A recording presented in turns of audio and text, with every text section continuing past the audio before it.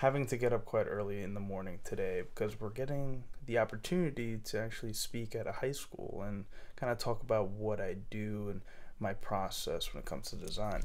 And it kind of got me thinking, of course, like, why did I get into design? Why did I choose design over everything else? Let's talk about it.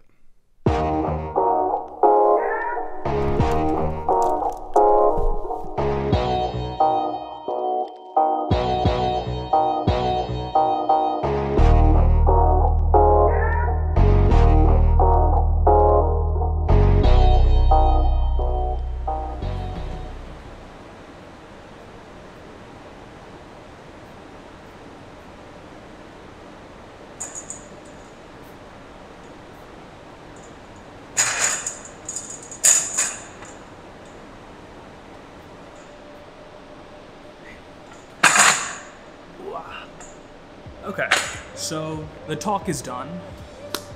Shout out to any of the students who so happened to be maybe watching this video. I appreciate you having me, and I hope I kind of gave you some insight. But obviously, for the many of you who weren't there. Uh, essentially, I kind of just talked about my experience and what I do and what my process is like when it comes to design. Some of those things included my philosophy, and I've spoke about it on the channel before, but the fact that I consider myself a designer, not an artist, because as artists, there's multiple different interpretations of your work compared to as a designer, you kind of are communicating a certain message, and if that message isn't 100% perceived and it's perceived differently, then technically you kind of fail. We also went into just kind of the mood boarding process and building a foundation before actually embarking on a on a new project, not really just jumping straight in. And with that, we created some CD covers, which I thought was pretty cool. Shout out to Debbie, by the way. Thank you for having me as that visiting artist. I would love to come back and uh, do some more talks. While trying to figure out my wording in terms of what I was going to say, it got me thinking and why I wanted to make this video of like, what is the reason why I started? What were some of the hurdles that I had to go through? And I can't necessarily say why design was something that kind of stick out into my mind. I mean, maybe it might have been because of YouTube and I was young, I was one of those kids watching a lot of gaming videos on YouTube and stuff like that, so maybe it has something to do with that, but besides that, I can't really pinpoint an exact moment that I kind of figured that design was something I wanted to do. It was kind of random.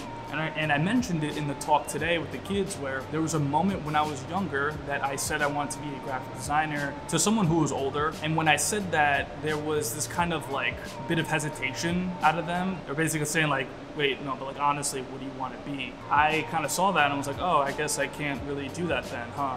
Maybe I should do something else.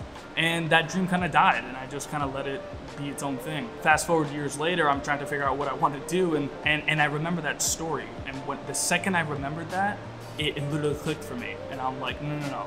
I'm gonna prove that person wrong.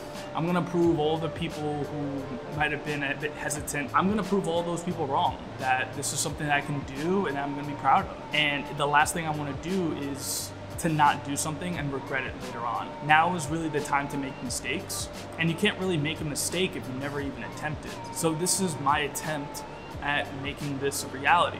It was really that one moment, recollecting on that specific moment that really kind of did it for me. But that's not the only thing.